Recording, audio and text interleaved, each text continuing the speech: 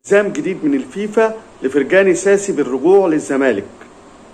وكل جمهور الزمالك اللي طالع على موسيماني بيقول له بيقول له موسيماني خدني الكوافير موسيماني كلفني كتير. إن شاء الله هنواصلوا معانا في الفيديو بأول نصلي على النبي عليه أفضل الصلاة والسلام. واذا ما كنت اشتركت في القناة اشترك وتبقى ضيف دايم عندنا. ويا ريت لايكات كتير للفيديو عشان توصل لكل الناس. أنا طمعان فيكم طمعان في كرمكم. انكم تدوني لايكات تعالوا اللايكات في الفيديو شوية إن شاء الله نبدأ مع بعض الفيديو ويبهركم كل اللي هتشوفوه فيه.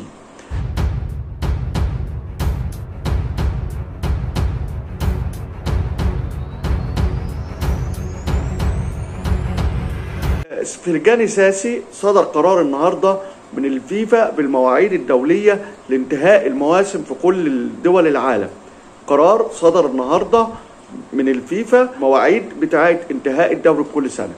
المواعيد قدامكم اهيت. هتلاقوا إن الميعاد بتاع منتخب مصر انتهاء الفترة الدولية هيبقى 20 8 20 8 انتهاء الموسم في مصر وبالتالي وده العقد بتاع فرجان الساسي هتشوفوه.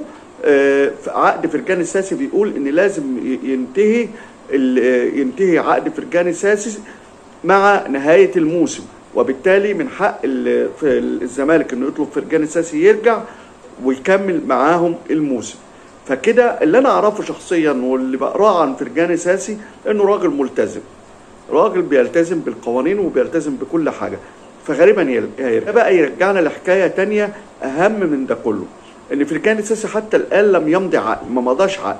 وفي كلام كتير عليه على عقده في كلام كتير عليه على عقده مع الريان القطري والدحيل أنا كنت من حوالي سنة قلت إن يعني في كان في شهر يناير اللي فات لما كانت الاهلي بيلعب آه، بيلعب كأس العالم للأندية قلت إنه مضى للدحيل بعد ما عقده انتهى فغالبا آه، كان الكلام كده.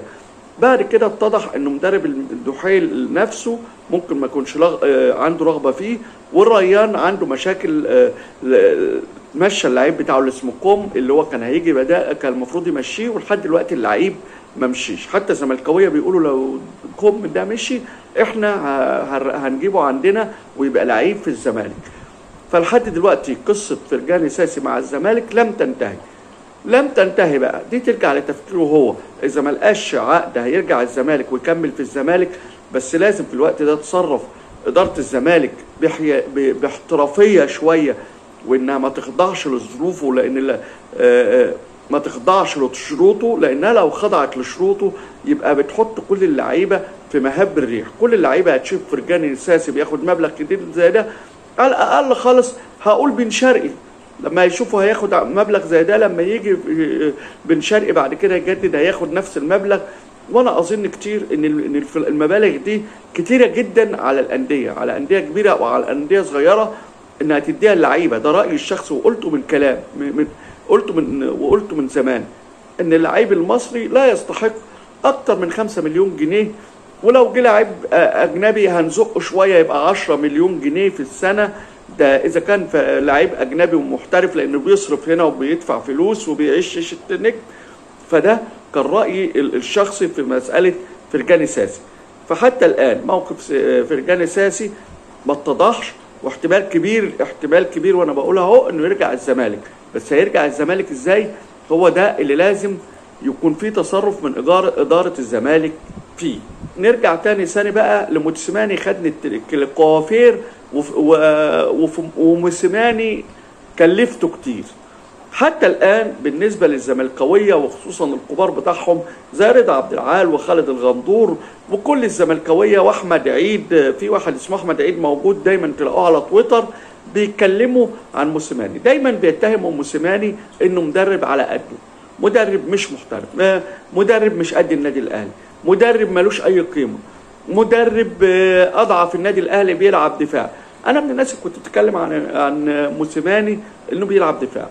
ما شافوش هما الإنجازات اللي عملها موسيماني.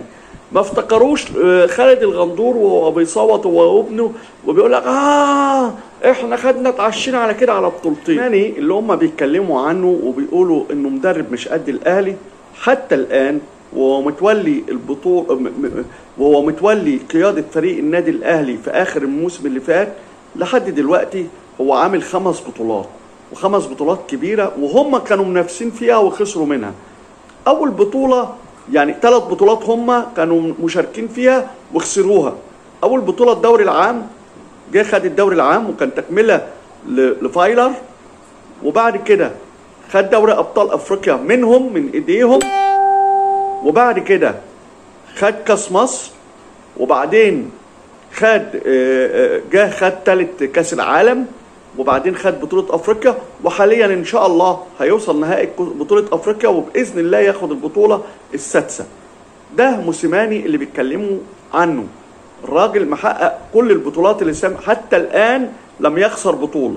ممكن يكون خسر ماتش لكن ما خسرش بطولات. أهم حاجة البطولة.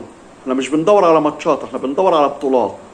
فموسيماني اللي, اللي, اللي بيتكلموا عنه ما خسرش ولا بطولة شارك فيها. مع الأهلي وكان مع سان داونز أقوى من كده ما خرجوش برضه إلا الأهلي فهم اتنين التقوا. ده غير إن أنا وما زلت بشيد بيها وبشهد بيها.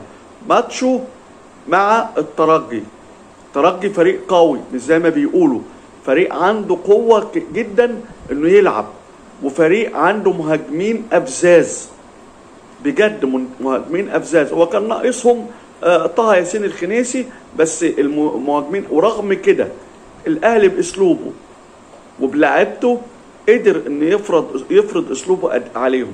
واحد زي أحمد توفيق زي واحد زي حمدي فتحي اللي كان بي بي بي بيلعب مدا- مدافع قدام كأنه ليبرو أو أو أسطوبر كان بيوقف اللعيبة.